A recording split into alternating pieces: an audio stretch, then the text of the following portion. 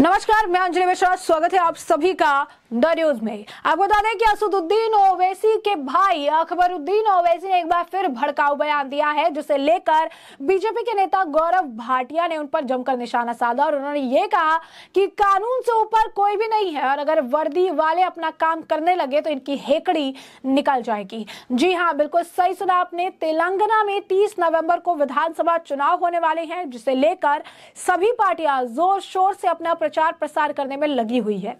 कई नेता एक दूसरे पर आरोप, प्रत्यारोप लगाते हुए भी दिखाई दे रहे हैं। तो वही एआईएमआईएम नेता अकबरुद्दीन ओवैसी द्वारा कल हैदराबाद में अपनी सार्वजनिक रैली के दौरान एक पुलिस अधिकारी को धमकी देने का मामला सामने आया है। जिसके बाद आज भाजपा के राष्ट्रीय प्रवक्ता गौरव भाटिया ने अकबरुद्दीन ओवैसी पर निशाना साधा और भाटिया ने कहा कि कानून के ऊपर कोई नहीं है। अगर वर्दी अपना काम करने लगेगी तो इनकी सारी हेकड़ी निकल जाएगी। और क्या कुछ कहा है गौरव भाटिया ने, जरा एक बार सुनिए। चाहे असदुद्दीन ओवैसी हों, चाहे अकबरुद्दीन ओवैसी हों, ये लोग केवल भड़काऊ बात करते हैं, संविधान को तार तार करते हैं। और अकबरुद्दीन ओवैसी तो वही हैं जो कह रहे थे, पंद्रह मिनट के लिए पुलिस हटा दो। फिर से उनका यह अराजक रूप सामने आया है। इतना ज़रूर कहा, कहना चाहूँगा, उन्होंने बोला, कोई माइका लाल पैदा नहीं हुआ मुझे रोकने के लिए. तो जब भारत माता के लाल वर्दी पहन के आते हैं और कानून तोड़ने वालों को दस डंडे मारते हैं और गिनते एक हैं तो वर्दी का रसूख भी पता चलता है और ऐसे अभद्र जो बयान देते हैं, उनको अपनी हैसियत भी पता चलती है। कानून से ऊपर कोई व्यक्ति है नहीं। और वर्दी का रसूख ऐसा है, जो ये वक्तव्य बोल रहे हैं, अगर वर्दी अपना काम करने लगी तो इनकी सारी हेकड़ी निकल जाएगी। तो जैसा कि आपने सुना कि गौरव भाटिया ने साफ़ तौर पर कहा है कि कानून के ऊपर कोई नहीं है, कानून जो है सबके लिए बराबर है और अगर वर्दी वाले अपना काम करने लगेंगे तो इनकी जितनी हेकड़ी है, ये सारी हेकड़ी जो है, वो निकल जाएगी। तो ऐसे में आपको बता दें कि अगर एआईएमआईएम नेता अकबरुद्दीन ओवैसी ने कल हैदराबाद में ललिता बाग में एक अभियान को संबोधित करते हुए ड्यूटी पर तैनात एक पुलिस निरीक्षक को धमकी दी और उसे मौके से चले जाने को कहा। यह जो पूरा वाक्य है, ये रिकॉर्ड हुआ है जहाँ पर वो धमकी भरे स्वर में काफ़ी कुछ कहते नज़र आए। उन्होंने ये भी कहा, पाँच मिनट में बोलूँगा, कोई माइकल लाल पैदा नहीं हुआ जिसने मुझे रोक लिया है। पुलिस इंस्पेक्टर ने उनसे आधार, आचार संहिता के तहत समय पर बैठक समाप्त करने को कहा था इसी बात पर वो भड़क गए। तो इसके बाद आपको बता दें कि मामले को लेकर Rohit Raju DCP, south east zone, Santosh Nagar की एसएचओ की शिकायत पर एआईएमआईएम नेता अकबरुद्दीन ओवैसी के खिलाफ मामला दर्ज किया गया है और मामला आईपीसी की धारा 335 और अन्य संबंधित धाराओं के तहत जो है किया गया है। तो ऐसे में आखिर अकबरुद्दीन ओवैसी द्वारा क्या कहा गया था और किस तरीके से जो है पुलिस को वो ट्रीट करते नज़र आए थे? एक बार जरा देखिए। इंस्पेक्टर साहब, घड़ी है मेरे पास। या मेरी घड़ी आपको दी? फिर चलिए चलिए चलिए।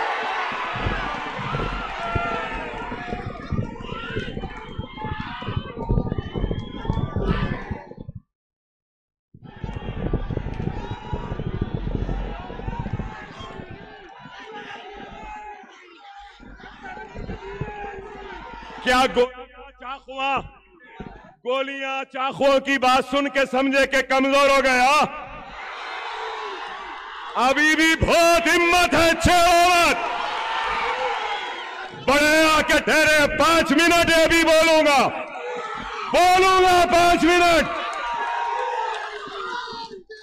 कोई माय का लाल पैदा नहीं हुआ मुझे रोकने के लिए।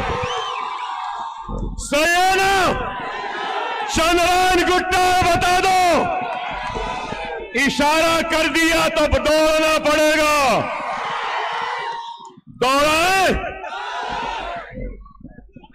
मैं आपसे यही कह रहा हूँ कैसी आते हमारे इतिहाद को कमज़ोर करने के लिए होशियार रहो। ये चाहते हैं कि अकबरुद्दीन ओवैसी से मुकाबला करने वाला कोई नहीं है।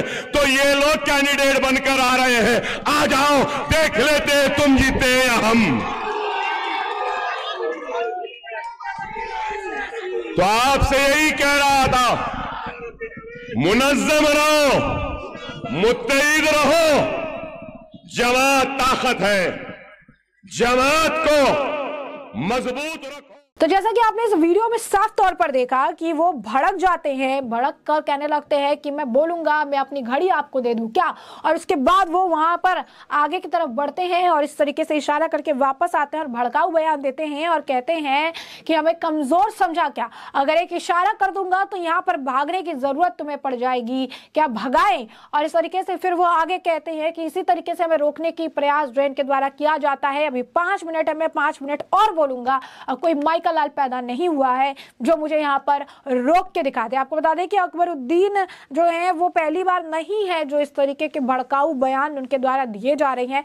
इससे पहले भी जो है, उन्होंने कई सारे भड़काऊ बयान दिए हैं कि पाँच मिनट के लिए अपनी पुलिस हटा लो, देख लो कि कौन क्या करता है, कितना तुम्हारे में दम है, क्या सारी चीज़ें हैं, वो हटाकर देख लो, ये सारी चीज़ें जो है बताकर देख लो। ये बातें भी उनके द्वारा जो है कही गई है। तो ये पहली बार नहीं है जब अकबरुद्दीन इस तरीके से बयान दे रहे हैं या चीज़ें कर रही हैं इससे पहले भी उन्होंने इस तरीके के काम जो है किए हुए हैं।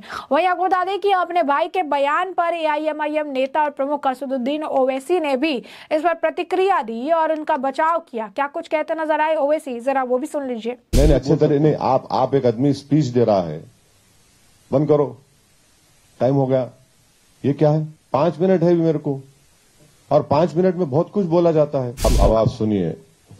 Proceedings of the returning officer 67 Chandrayanagut Assembly Constituency Hyderabad present Shri M Surya Prakash returning officer की साइन का लेटर है It is ordered and permitted to conduct last paragraph public meeting at Unique School Road, Idi Bazaar at 21-11-2023 at 6 p.m. to 10 p.m. without violating MCC rules. लेकिन जिस प्रकार सुनिए सुनिए सुनिए सुनिए एक बात मैं अगर 10 बजे 10 बज के एक मिनट हो रहा तो आपको पूरा राइट है मेरे को आके रोकने का। आप 10 बजने के लिए पाँच मिनट बाकी है, आप मेरे डाइस पे चढ़ जाते। क्या बात है भाई? क्यों? ये कानून एमसीसी ईसीआई का जो आप खुद परमिशन आरओ दे रहा है, और पाँच मिनट पहले बंद कर दो बोलते आप। क्या करना फिर हम? लेकिन अच्छे तरीके नहीं से नहीं अच्छे तरीके नहीं आप आप एक आदमी स्पीच दे रहा है। बंद करो। टाइम हो गया। ये क्या है? क्या है? बोलिए आप, आप अगर आप उनके खिलाफ एक्शन नहीं लेंगे क्या? अगर मैं दस बज के एक मिनट हो रहा आप आप करिए एक्शन लीजिए। कौन रोक रहा आपको? आप मेरे डाइस पे खड़े होकर बोलते बंद करो टाइम हो गया। ये क्या है? क्या है? ये, ये, ये कैसा बिहेवियर है? बताइए आप। आप खुद बताइए। मैं अगर ये दस बज के एक मिनट हो गया तो आपको पूरा राइट है। पाँच मिनट है भी मेरे को। और पाँच मिनट में बहुत कुछ बोला जाता है। एक स्पीकर के लिए opening statement and conclusion important रहता बहुत। आप पाँच मिनट पहले बोले, बंद करो टाइम हो गया, बंद करो टाइम हो गया। और ईसीआई के कैमराज है। आप कैमराज से पूछो ना जो ऑब्जर्वर्स रहते वहाँ पे ईसीआई कैमराज हमारे को फॉलो करते। पद यात्रा करे तो फॉलो करते पुलिस का कैमरा फॉलो करता। अब तो पुलिस वाले फोटोआ लेके चेक करते कि इसमें इनके खिलाफ कुछ केसेस है क्या, देख लो।